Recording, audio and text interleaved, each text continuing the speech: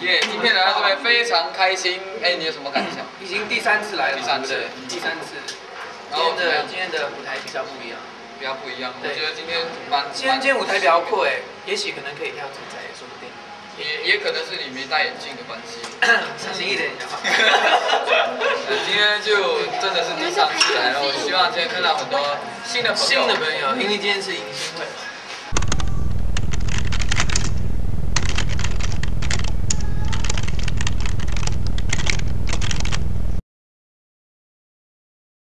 因为我觉得当艺人，当艺人就要领导大家去一个比较正面的、正面的一个一个 message，所以我就觉得我们应该要，我们要有的改变呢，就是要很很注重自己的那些仪态啊、外表啊、讲话啊、内容啊之类的。对啊，以免被成为别人的坏榜样。对。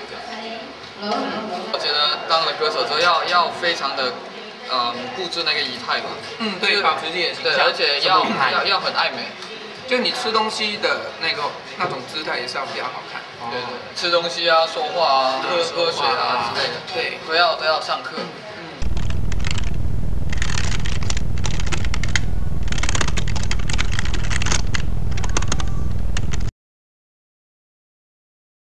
心目中的偶像，我是孙燕姿。对，我觉得她唱歌很不做作，然后比较有性格，我喜欢性格的女生。对，性格女生。啊，都都没有问你喜欢哪一类型女生？没有，我是讲，因为她唱歌哦就你有性格，带出来。对，我其实我本身我的偶像蛮多的，陶喆、王力宏还有周杰伦。为什么都是男的呢？不知道，我是觉得因为他们的音乐都不一样，因为像周杰伦他是以复古。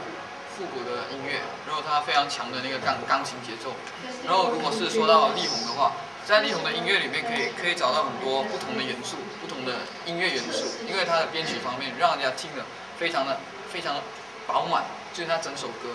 如果说到陶喆，虽然他的歌曲他编曲简单，可是他他就是因为 soul music，soul music 就是以那个那首歌的灵魂为主，所以他以简单的方式去演绎整首歌，所以这三这三个人他们音乐元素都不一样。所以，最希望最希望可以跟他们合作。没有没有，四年拍了四年，然后他小我一岁，对。然后那时候他是华文学会嘛，然后我也是华文学会，然后那时候就是，哎呀，就是嗯，Puppy Love 的一个一个一个。三年还叫 Puppy Love 吧？有了害羞，Oh my God，算了。然后就是直接跟他讲，呃，我爱你，呃，我你爱我这样子，就是很单纯的那种恋爱。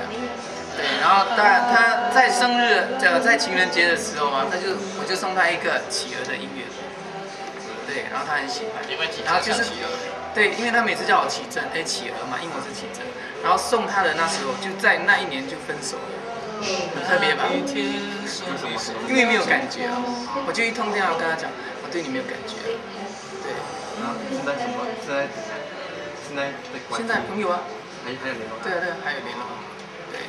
要大方一点。对，大家知道金牛座是敢爱敢恨。其实喜欢你是喜欢什么类型的？女生呢？刚才这这几个都有。是内型还是类内内型？类型，类型。女生是内型。类型。我就很奇怪，我 get 不到啊！我因为我怀疑侦查一下。类型。类型啊，有一点胖胖的吧？对，带点肉肉的。不用看，你有这边没有？就是你，你的朋友。有肉肉的。小薇，啊，小薇啊，那个。没有，然后要呃包容我一下。嗯。对。学生。